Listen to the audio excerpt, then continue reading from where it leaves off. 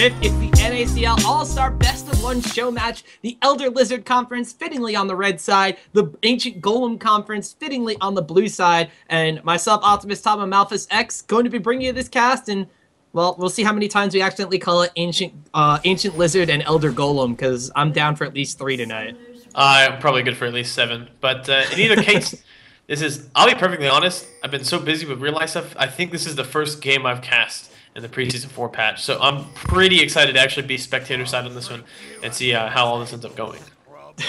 Apparently, the banter going on in chat. Cop has access to Curse Academy's team speak, so he's trying to eavesdrop on the enemy team to figure out where they're going and what they're doing. But I had to second that one, Malthus. There hasn't been a lot of competitive action on the recent patches. We've seen potentially just a couple of NACL match. Uh, not I'm sorry, not us. We haven't been on a break, but the NESL matches. We've seen maybe some European matches that were going on in like the Black Monster Cup and things like that. But not a lot of recent patch matches. So I'm really excited to see here. Well, I gotta point out the thing I'm most excited to see here is that there's only been one relic shield picked up in this game. Indeed, yeah, the double target nonsense did get hot fixed. They, they decided that that was not exactly healthy for uh, for the game. But uh, I'm pretty intrigued to see Quas going with the no trinket start. He's saying, you know what? Nope. I'm only going to be buying season three items. I'm only going to be. Uh, I'm not going to take advantage of any of this preseason four nonsense. The old gods are the best. well, I mean, he does sudden cloth armor and five health potions, so our dreams of solo lane Taric still there. We do have, uh, looks like Shiphtur Unleash and just starting the standard Doran's Blade and one health potion at this point in time. So we might not be seeing any double dual lane shenanigans, but we are seeing right now is the Ancient Golem Conference patiently patiently oh. waiting in this bottom lane brush. They want to try to get the jump on Cop and Daydreamin, maybe a little bit of payback for when oh. Cop was eavesdropping in their uh, their TeamSpeak chat, but they're still waiting around in this brush. And if they wait just a couple more seconds, oh, they, they might have, want to get that jump done. They have to know, right? They have to know something's wrong. No one's shown up in a lane yet. Daydreamin, no! Oh, Daydreamin face takes the brush and he has the trick. He didn't use the ward. Cop goes down for first blood as Fabi, the gatekeeper, closes the doors to TeamSpeak and closes the doors on bot lane. Oh, that was so rough. Daydream is the one to face check the brush, but it's going to be Cop who ends up paying his life. Loses both summoners, goes down for that as well. Uh, only two ignites spin over here for the side of the uh, of the El ancient golem. Stop, Tom. Tom, take, help me. Can't do it.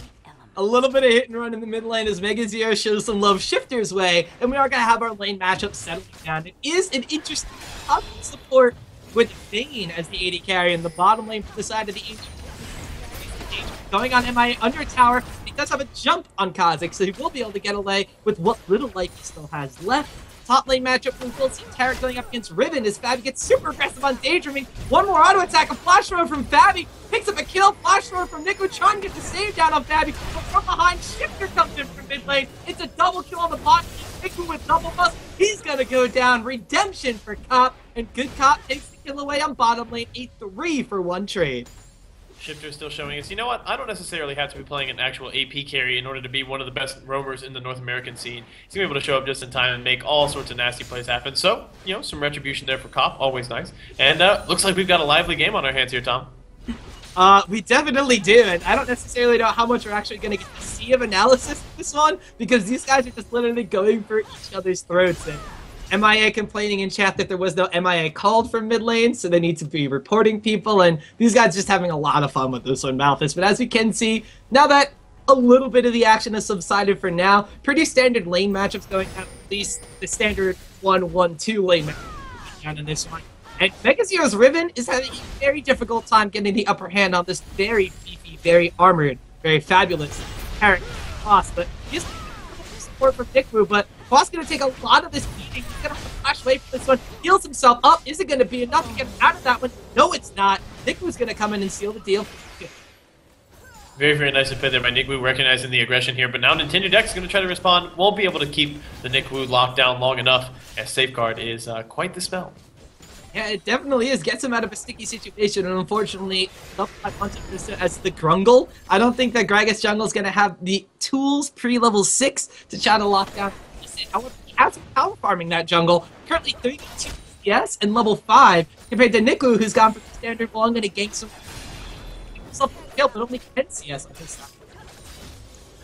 So down the bottom lane. Cop's got himself the uh, double buffs. That's going to be pretty terrifying. Is you you know, I mean, Sivir is a very very low range AD carry, uh, but so is Vayne. So when you're in a situation where as Vayne, in order to come up in CS, there's potential for Daydreamin to initiate on you, and there's also potential for Cop to step up, auto attack you, get the reset with the ricochet, and then apply that red buff and just get the extra burn damage comes from that. It's it's a pretty difficult lane to actually find space in, but Fabi's doing a great job. Here's the initiation from Daydreamin.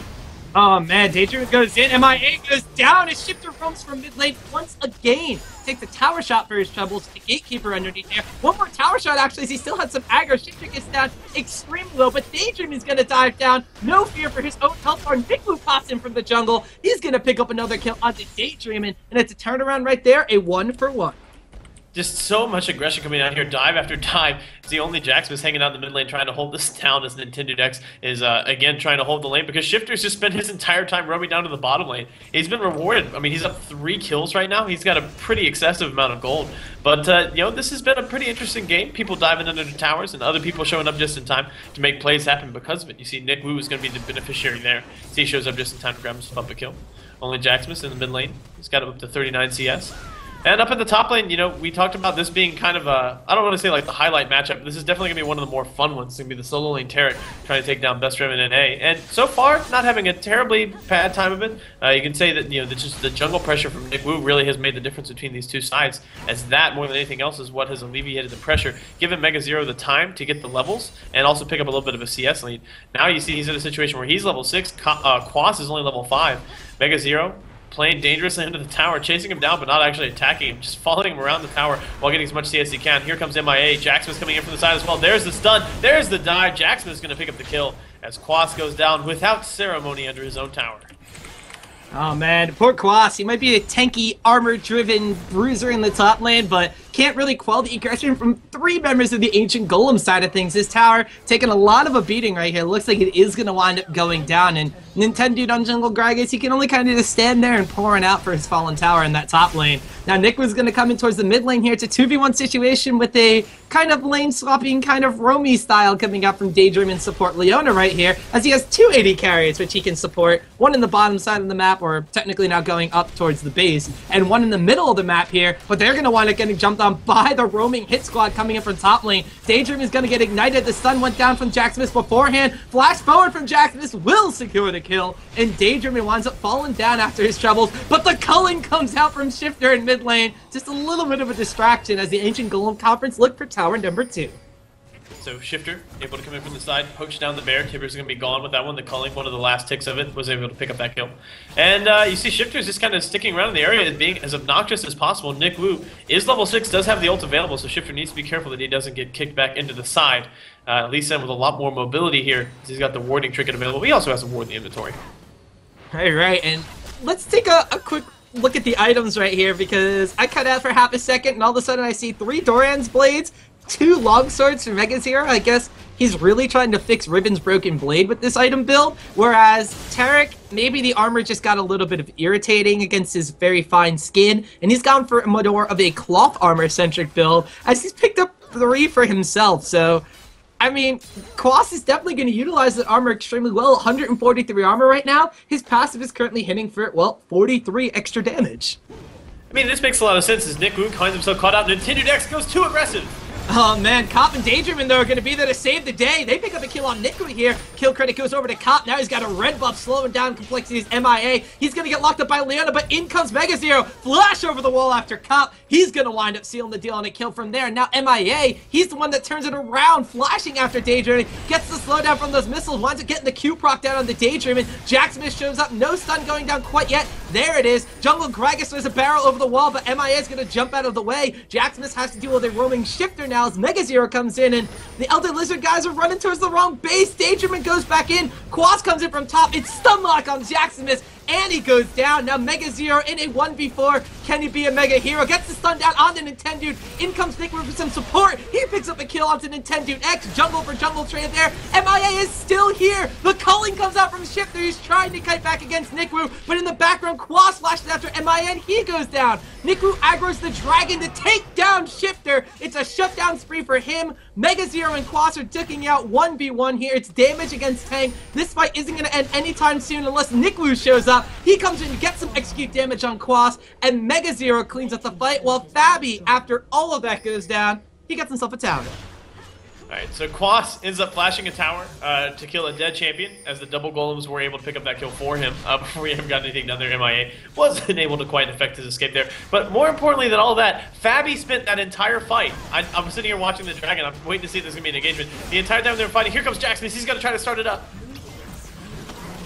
The Dragon goes down in the background, and Nickwu at the same time, Fabi, now joining the fray, is able to pick up a kill on Daydreamin. So right now, the Elder Lizard Conference All-Stars, they're down a Dragon, they're down four kills, and they're missing two of their towers on the map against a very heavy AD composition. But let's not forget, they got a Taric who's going to be an Armor Billy. They got a lot of extra damage coming out from these double AD compositions, but do they have the defenses to tank up against this very, very bruiser-heavy side from the Ancient Golem Conference. I mean, we're gonna have to figure that one out as the game goes on. Uh, that's why they're prioritizing Fabi's farm so much because he is going to be the tank killer here. Uh, his, you know, his true damage is going to be a huge part of what's going to get them through this game. And the entire time that fight was going on, that three-minute engagement in their jungle, Fabi spent the entire time just hanging out in the bottom lane farming up. Now he's got a Blade of the Ruined King on. Now he's trying to take advantage of that farm. Well, Nintendo calls for ARAM and everybody groups up in the mid lane here. The culling comes out. Is Fabi gonna go down? Cop secures the kill with a boomerang blade. Could it be two towers and a Mega Zero, actually? Now MIA comes in from the side, but he's got no resets available. Nickwu picks up a kill, but is it going to be enough for his team to come back into this one? Piercing Light snags a kill as it goes through a minion and picks up a kill onto MIA. It's two kills for Shiphtur, a tower, and an additional kill for the Elder Lizard Conference as they storm back with this double AD aggression just so much power coming out from Shiphtur right now. He's already picked himself up five kills early on. Uh, there are five kills onto Nick Wu as well, and Nick Wu is, you know, he's using those to kind of get himself a mix of stats. He's going with the, uh, the Elder Lizard, and actually he's going to try to get another Daydreamin'. Oh man, Nick Wu kicks Daydreamin back, but into who? It's only Jaximus, which I guess kind of makes sense. He's able to pick up a kill on Daydream, but at the expense of Nick Wu's life. 5 3 and 3 now on that Lee Sin, and a 6 1 and 4 Shiphtur walk away from that fight.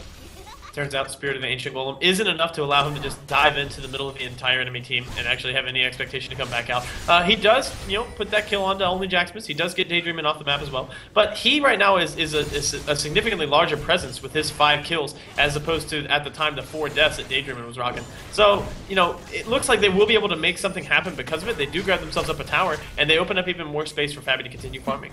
Oh, a flash and a Tibbers from Jaximus. MIA comes in and picks up the kill. No evolved wings means no resets for him quite yet. Mega Zero baits out the Leona ultimate. Not going to wind up landing on anyone. Jaximus gets a stun down on Shiphtur, but he's in danger's alley right here. Jaximus is going to get taken down by Shiphtur, but Daydreamin trades his life to Fabi. He winds up popping the Final Hour, trying to get away. Am I off to the side? He winds up popping the invisibility, jumps down and picks up a kill on Cop. Mega Zero does a flip for effect right there. There's a stun against the wall coming out as a contempt on the Shiphtur. Nickwu goes in, tries to get something back. The Culling comes out, but Lucian goes down. Nickwu picks up a kill for himself, and I'd have to say about this. This game is quite literally the definition of a seesaw right now.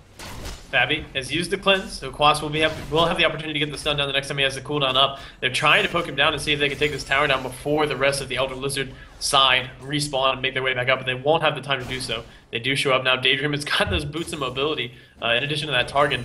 Uh, so he's going to do what he can to just get in range, get those initiation down, pop the ult. Will he be able to find... Nope, couldn't find Nickwu in time.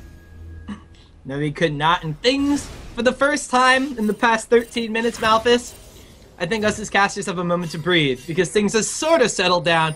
Three towers for the Ancient Golem Conference, two towers for the Elder Lizard Conference. The kill score currently reflects 17 to 12, with about a 3,000 gold advantage going in the favor of our blue team with the Blue Golem buff. Shiphtur's to wind up picking up an Ancient Golem buff for himself, so he's going to have a lot of, well, a lot of mana regeneration and not as much cooldown reduction as he used to be able to get from that one. 10% rather than 20% as we move into the pre-season 4 patch of things. And as we look down the items, well, despite all the all-out brawls and the extremely low CS counts at this point in time, there's some pretty key items being completed. Blade of the Ruined King on both main AD carries, while there's a Bloodthirster picked up for a 7-2 and 4 Lucian against a DFG coming out from Anian. Fabi, well, he's in the wrong neighborhood, and his gate gets closed on him and his own tribe rush as Cop and Daydreamin work together to pick up that kill. That was uh, that was kind of rough. That you know that's that's arguably one of the scariest things about Leona is Nick Wu tries to make this happen, could not get the initiation down. The war jump was you know very very nicely executed, but Nintendude with that body slam able to keep himself safe. Well, there's another fight breaking out this time on the Elder Lizard side of the map. Nick Wu and MIA going into a fight right here, but flash away from MIA leaves Nick Wu to his own devices against three members of the Elder Lizard Conference. Timber Stun comes out, doesn't quite stun Quas, who does get the dazzle down on Nick Wu. Long range Zenith Blade does connect, and it looks like Daydreamin gets the kill onto Nick Wu there despite his team trying to save him. That was really clutch from Daydreamin. I mean, Nick Wu was very, very close to making it his way to the Dragon Wall, being able to flash himself back out over. He also had support coming in. He would have been able to jump back out. Daydreamin has MIA revealed on the ward. Well, it's a support battle, the most exciting thing in League of Legends, but Fabian Jackson is going to show up and ruin this one. Only Jackson picks up the kill as MIA barely escapes with his life from that duel. So sad. The culling! Oh, Fabi gets hit by the culling. Shiphtur winds up trying to take him down. One more auto attack. No, it's uh-huh. the red buff that seals the deal. Shiphtur proves that he's the better AD carry or marksman in this game as he picks up the kill on the Fabi. But in comes Mega Zero. One, two, three, broken wings. Flash over the wall, but a flash away from Shiphtur. A couple of shots over the wall. Mega Zero finds himself at half health for his troubles, but he's going to keep chasing down. Winds up popping the quick little wind slash there, and a barrel knocks him and Jackson into the fight. Nickwu comes in as well, but Shiphtur picks up a kill on Andy at the same time. Cop picks up a kill onto Mega Zero, and that's going to be a three for nothing for all the troubles of the Ancient Golem Conference. Uh, you know, okay, how many games have we seen Cop go deathless? Like throughout the duration of the game? MIA, red buff? Uh, bye. Okay, I, like, it's, a, it's a four for zero now. Like, how, how, many times have we seen that, right? He, he, generally is very conservative with his positioning. He takes his time, uh, and he just doesn't go down pretty much at any point in the game. This game, they started off killing him, and I think they just made him angry because now we're fighting him flashing into the front lines with his Sivir.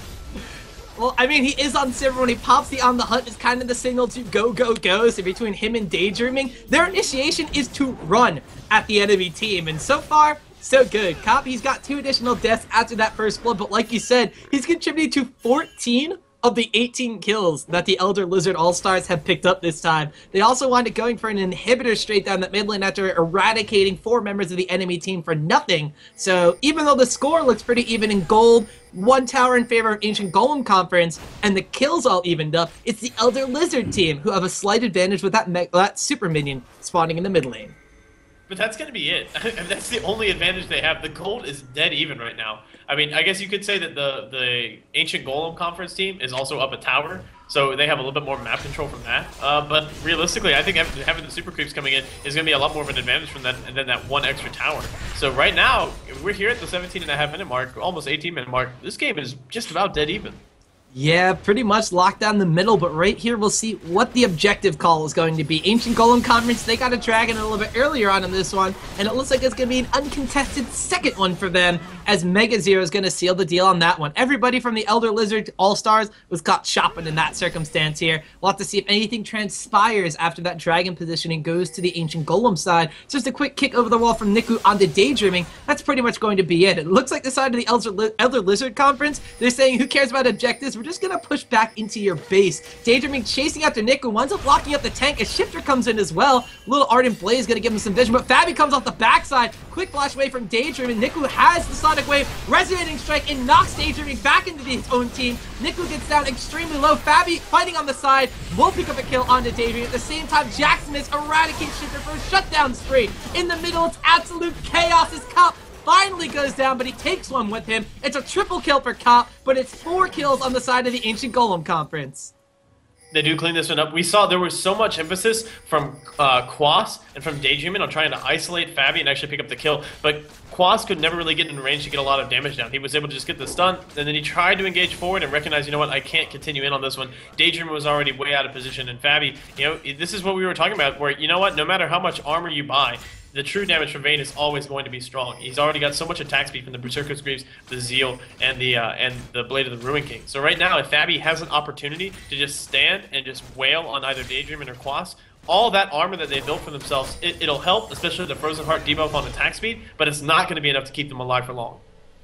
Well, one thing that has been keeping them alive when they do group up has been that explosive cast that completely, well, mess up where the side of the Ancient Golem Conference has been. But the Elder Lizard All-Stars, Nintendo's kind of going split push all Gragas. He has the highest CS in the game, but this time around he's grouped up with the team around Baron. Nickwu gets down extremely low. There's the explosive cast to shove the rest of the team away. Cop picks up a kill on the Nickwu, and now the Ancient Golem All-Stars, they gotta turn tail and run. Jaximus is blinking into the red. Fabi barely has any HP left to speak for himself, and the culling comes out! Picks up the kill on the Jackson, miss 0 to 100 in the decibels of my voice, as well as the damage coming out. Shiphtur picks up a double kill right there. Riven's gonna wind up falling, and the Elder Lizard Conference All-Stars, they are shoving down onto Nexus Towers right now. It's just the duo lane from the Ancient Golem guys. Is it going to be enough to defend against five members strong from the Elder Lizard Conference? The stun comes out on MIA, and suddenly it's only a 2v5. The Nexus is taking damage, Nickwu is taking damage. Are they gonna go for a Fountain Dive or not? Daydreamin wants to go for it. The rest of the team wants to end the game. Daydreamin gets down so low.